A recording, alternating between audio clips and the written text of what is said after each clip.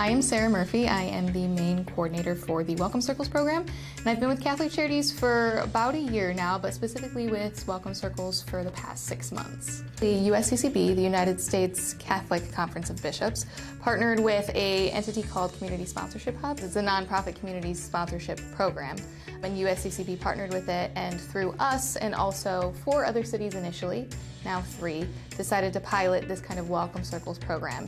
So in Cleveland, it's Catholic Charities Migration Refugee Services, and then in the other cities that we have Seattle, Boston, and Philadelphia. The Welcome Circles program specifically is group sponsorship. So while there are people in the United States who can absolutely do individual sponsorship, you know, I encourage it. With Welcome Circles, it is very specific to groups. The groups would have to fill out two applications. So the first application is for USCCB and Community Sponsorship Hub. That is called the Welcome Circle application. In that, groups would have to get background checks, they would have to sign code of conducts, they would have to complete trainings, and they would also have to create something called a welcome plan, which is where everyone is mapping out how they're going to provide the resources that they are going to to the family. Now, another application they'll have to fill out is called the I-134A Declaration of Financial Support.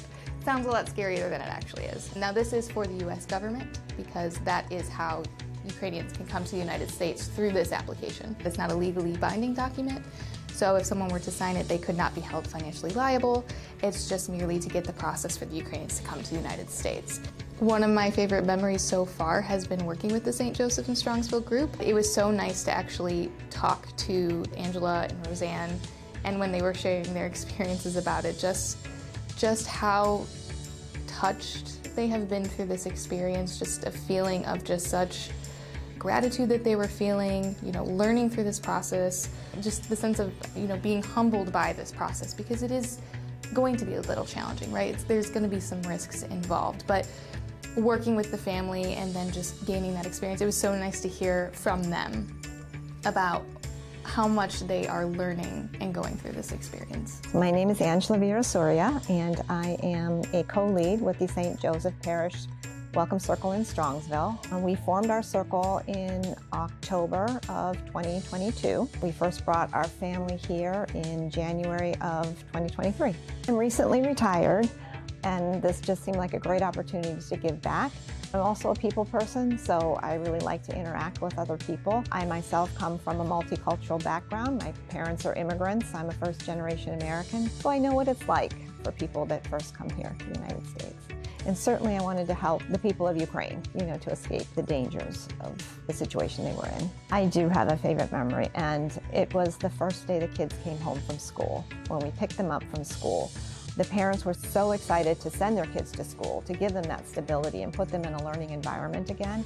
And these children were so ready to go to school and to have a routine and stability in their life. Everyone along this journey has been so incredibly kind and gone out of their way to help, and the school included. But these children, they just came home so happy and that was very heartwarming for me. For anybody out there who's interested in, in this kind of kind of work that, you know, don't hesitate. If, if you have a passion for it, things will come together and, you know, you'll be able to pull it off.